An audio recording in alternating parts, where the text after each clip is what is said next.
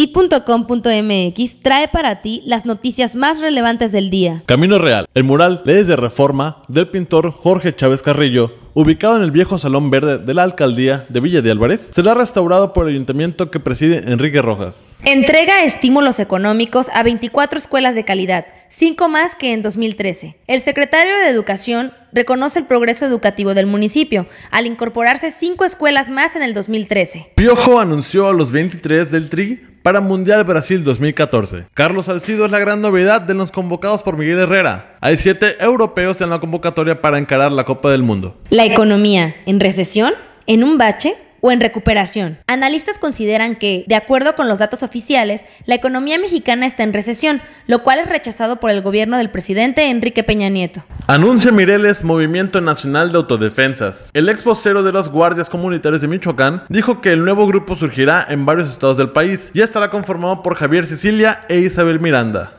Ayuntamiento de Colima y Club de Primera División Jaguares de Chiapas realizarán visorías. Se convoca a futbolistas nacidos de 1994 a 1999 para integrarse a las fuerzas básicas en los equipos de sub-17 y sub-20, informó Federico Rangel Lozano. Sony saca los cassettes del baúl de recuerdo y los lanza renovados. Para los nostálgicos de la tecnología antigua, Sony revivirá estos cartuchos con nuevas características. Con la representación de la alcaldesa Indira Vizcaíno Silva, el director de Educación, Cultura y Deporte en el Ayuntamiento de Cuauhtémoc, Elías Trujillo Trujillo, se dijo complacido por la representación en el Centro Cultural de Cuauhtémoc del libro Relatos y Cuentos.